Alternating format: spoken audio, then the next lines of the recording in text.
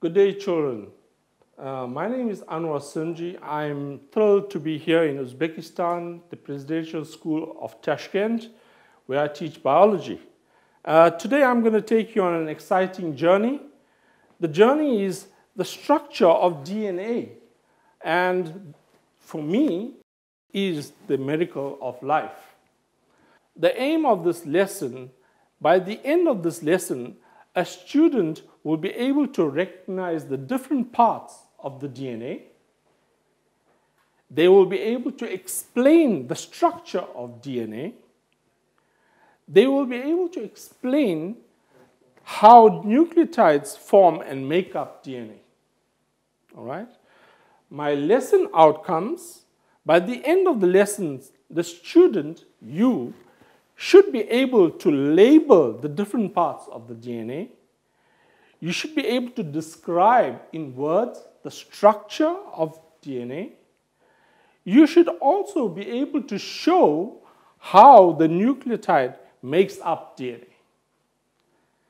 With that, I'd like to go through a few words that you may have difficulty with, right? For the first word, please say these words three times after me. Chromosome. Deoxyribonucleic acid. Adenine. Cytosine. Guanine. Thymine nucleotide.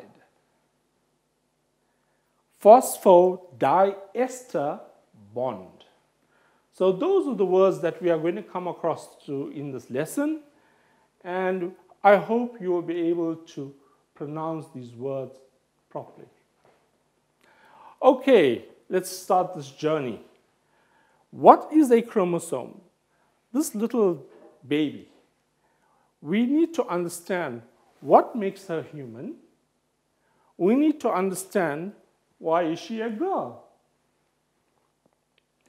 All living organisms have characteristics.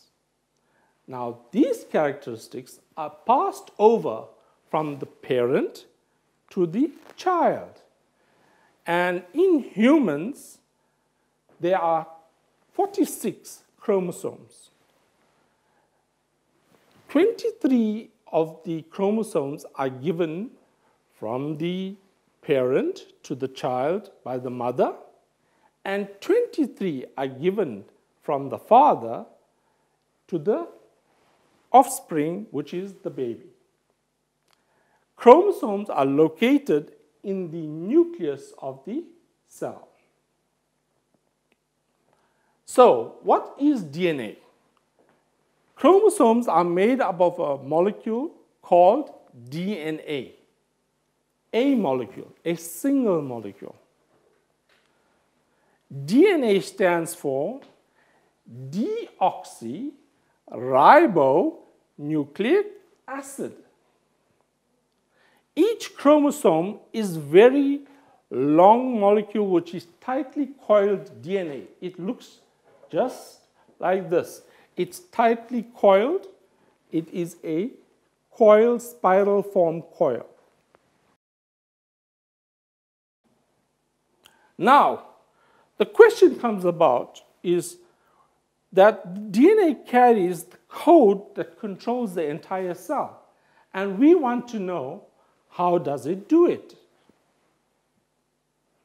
Which part of the DNA molecule contains the information that controls the cell. Let's look at the structure of the DNA. The DNA is all is made up of a single molecule of the chromosome is made up of a single molecule of DNA. Now, the gene is a small section, a small section of the DNA molecule. Now, this small section is called a gene, and this gene has the code for the protein that is required. Now, the DNA is made up of a twisted ladder. This is a ladder. This is what a ladder looks like. And this is a twisted ladder, right?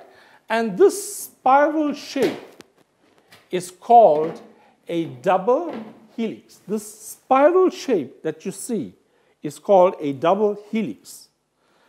The DNA has got a backbone right?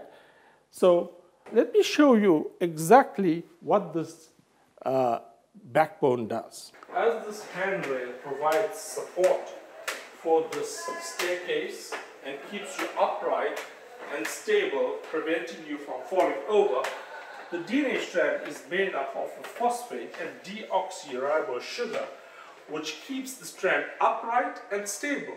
And the beauty part is it has two of these backbones that keeps it upright. And it's fantastic. Okay, so this is the backbone.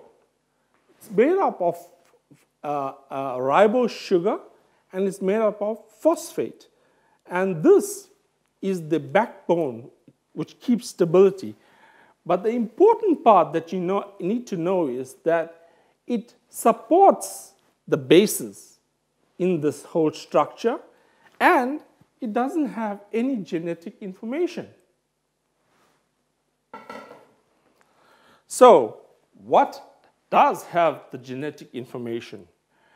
The base pairs, right? These are the rungs of the ladder, right? These are the base pairs, the rungs of this ladder.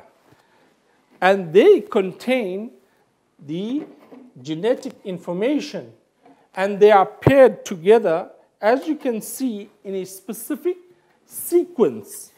That sequence is yellow, red, as you can see specifically.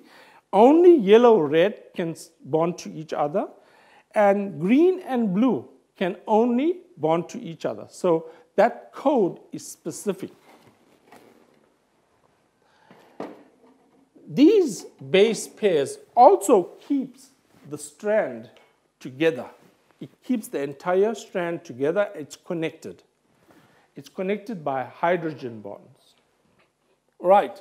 We spoke about this double helix ladder. So let's, what are these base pairs called? Right?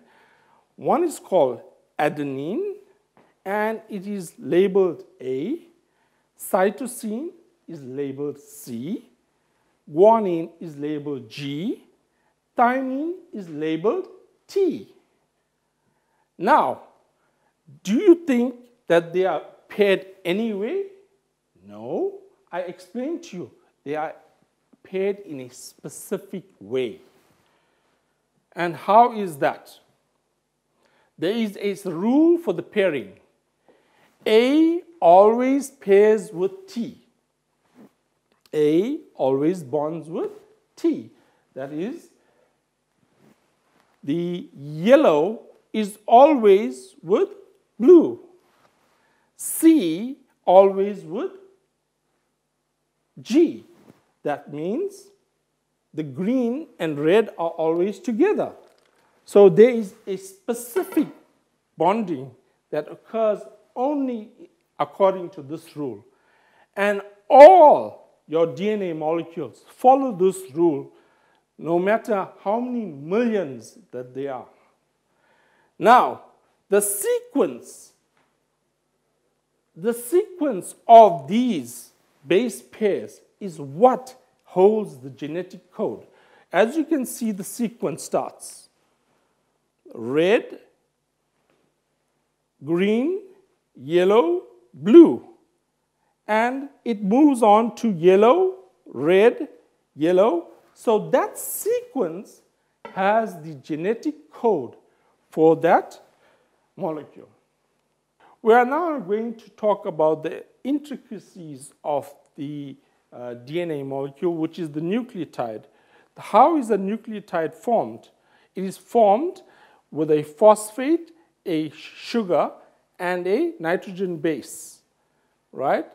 And this is, for example, deoxyribose. We're going to use an example called adenine. When these two join together by a condensation reaction, water is released. And then when a phosphate combines forming ester bond, which forms a, a ester bond, then another water is released. And therefore, two water molecules have been released. Okay, and this forms the nucleotide on the whole. Now, these nucleotides can be joined together,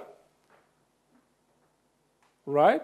By the similar condensation reaction, another molecule is lost. So each nucleotide connects to each other, losing a water molecule, and therefore forming this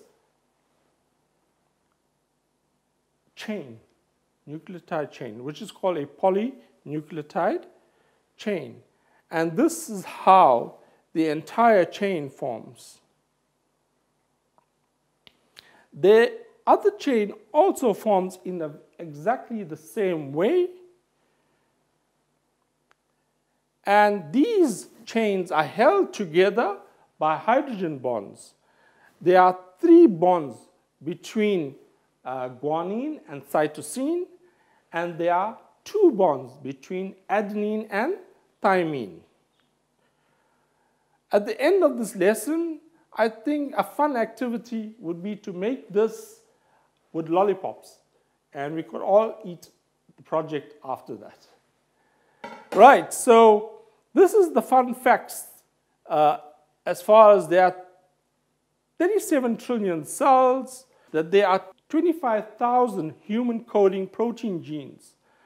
The mitochondria has DNA, so does the chloroplast.